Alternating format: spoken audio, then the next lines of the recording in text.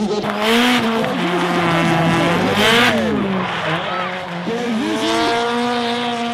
το τελευταίο clipping zone, το μόνο που έχασε ήταν το clipping point και το μπροστά.